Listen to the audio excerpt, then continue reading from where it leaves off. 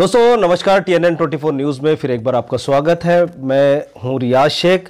आज हमारे स्टूडियो में आपका बहुत बहुत स्वागत है और साथों साथ फैज़ान ताज कवाल जो नागपुर से हैं आप उनके हर बार वीडियो देखते होंगे और काफ़ी उन्हें लाइक शेयर मिलती रहती है और काफ़ी लोग उन्हें पसंद भी करते हैं। काफ़ी लोग उन्हें पसंद भी करते हैं और आ, अभी हाल ही में उनके काफ़ी एल्बम निकले हैं जो कवाली से रिलेटेड है और एक कवाली है जिसका नाम है अपना टाइम आएगा ताज वाला लाएगा। ये काफ़ी फ़ेमस हुई है काफ़ी चर्चित हुई है। और दूसरी कवाली माँ तेरी दुआ के सदक़े में मेरी जन्नत होंगी ये भी एक लेटेस्ट एल्बम निकाला गया है। और मेरे साथ फैज़ान ताज है। आइए हम उनसे बात करेंगे कुछ T N N twenty four news के माध्यम से। और डालेंगे उनकी आ, उनकी लाइफ पर थोड़ी सी रोशनी। कुछ तत्वों को जानेंगे और बात करते हैं। तो आइए मेरे साथ और देखते रहिए T N N twenty four news Riyaz Sheikh के साथ। हमें कमेंट्स करके ज़रूर बताइए। चलिए इस बात को आगे बढ़ाते हैं और फैज़ान ताज से अपनी गुफ्तु को ज़रूर रख, जारी रखते हैं। फैज़ान ताज हमारे दर्शक और एक कवाली सुनना चाहते हैं आपसे। क्या सुनाओगे? जी बिल्कुल। क्यों नहीं हम तो आए। को रेडी हो जाइए। आपके लिए फैज़ान ताज एक और कवाली लेके आ रहे हैं आपके सामने। अपना टाइम आएगा मेरा ताज वाला लाएगा जो काफ़ी फ़ेमस हुई है। तो आज रूबरू है बिल्कुल फैज़ान ताज आपके और मैं आपके साथ हूँ। तो फैज़ान ताज अल्हम्दुलिल्लाह इस इस कवाली से भी मुझे बहुत रिस्पांस मिला है और बहुत सी जगह में जहाँ भी पढ़ता हूँ तो यानी फैंस मैंने इसे इस मैं पहले पढ़ने से पहले बता दूँ कि इस हालत पे लिखा इसको मैंने। मैं ये आपकी खुद की लिखी हुई है? खुद की बोले तो मतलब मैंने किया है मेरे दिमाग में थोड़ा बहुत यानी आया है। तो मैंने उसमें इनशाला कलम उतनी तो चला नहीं सकता इनशाला दुआ कीजिए आप लोग कि पूरी पूरी शायरी भी कर सको लेकिन टूटी फूटी इसमें की है। तो हाल ऐसा था कि मैं बहुत परेशान था उस टाइम पे।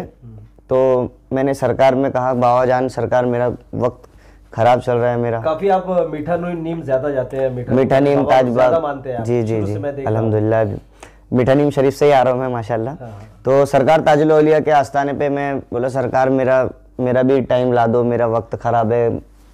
इंसान की ज़िंदगी से होता ना कि वक्त खराब होता है तो करना ही होता है हाँ तो वो नीच, तो मैंने इसीलिए इस कलाम को मैंने कहा अपना टाइम आएगा। लोग मुझे ताने देने लगते थे कि तू क्या गाएगा तू क्या बढ़ेगा तू तो ऐसा ही है तू वैसा इसका गा रहा उसका गा रहा। जी हाँ। ऐसे लोगों ने मुझे बहुत ऐसा ना जि, जितनी बुलंदियों की सीढ़ियों पर चढ़ते हैं तो ऐसा दुश्मन जो जलने वाले हैं वो खैरात में मिलते हैं। तो ये पर करम है अल्लाह का कि मैं लेकिन अल्लाह जिसे तरक्की दे उसे कोई रोक नहीं बस मैं तो यही कहूँगा यार अब मेरे दुश्मन को सदा रखना सलामत वरना मेरे मरने की दुआ कौन करेगा? तो उस कलाम को मैंने इसीलिए कहा है कि मेरा वक्त ख़राब है सरकार मेरे वक्त को मेरे हालात को बदल दो।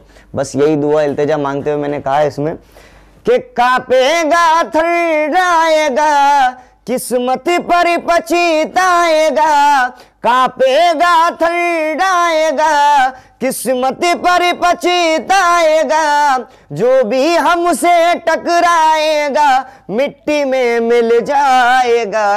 अपना टाइम आएगा मेरा ताज वाला लाएगा।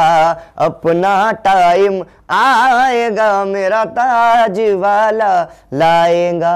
इतने में दिल नहीं भरा है थोड़ा सा और आगे। रखेंगे ताजी वाले खुशी की कतार में दरबार में खड़े हैं इसी इंतज़ार में।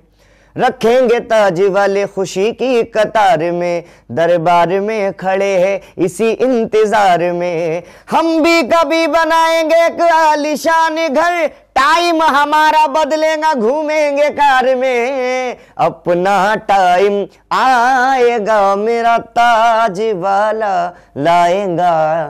अपना टाइम आएगा ताज वाला लाएगा। मुझे लगता है कि फैजान ताज का टाइम अब आ चुका है उनकी गाड़ी सौ डेढ़ सौ की स्पीड में भागने लगी है और चाहने लगे